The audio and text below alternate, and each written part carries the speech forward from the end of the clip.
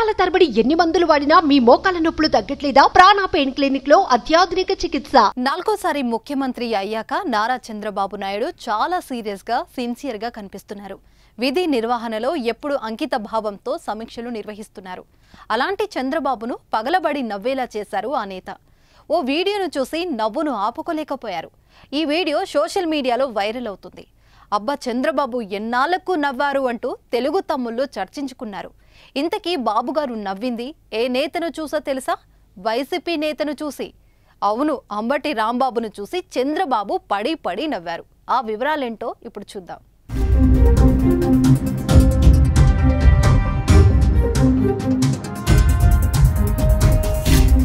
CM Chandrababu Polavaram ప్రాజెక్టుపై శ్వేతాపత్రం విడుదల చేసిన సంగతి తెలిసిందే.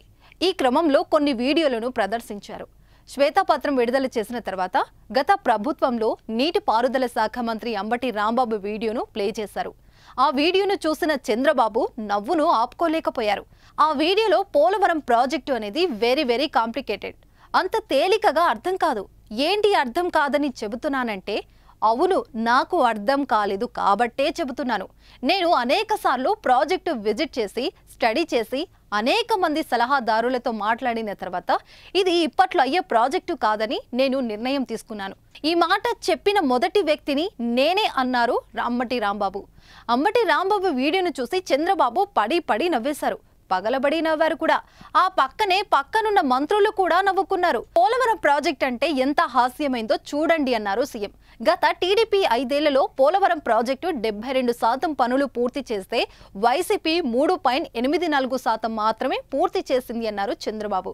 టీడీపీ హయాంలో వచ్చిన గిన్నెస్ రికార్డుకు కేంద్రం కూడా ప్రశంసలు కురిపిస్తే వైసీపీ హయాంలో నిపుణులు పీపీఏ చీవాట్లు పెట్టే పరిస్థితికి తీసుకొచ్చారన్నారు చంద్రబాబు.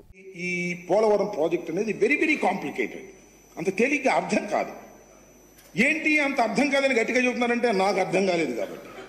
నేను అనేక సార్లు విజిట్ చేసి స్టడీ చేసి అనేక మంది అడ్వైజర్తో మాట్లాడిన తర్వాత నేను నిర్ణయం తీసుకున్నా ఇది ఇప్పుడు పూర్తయ్యేది కాదు అని చెప్పిన మొదటి వ్యక్తిని నేను ఏది ఈ పోలవరం ప్రాజెక్ట్ అనేది వెరీ వెరీ కాంప్లికేటెడ్ అంత తేలిగ్గా అర్థం కాదు.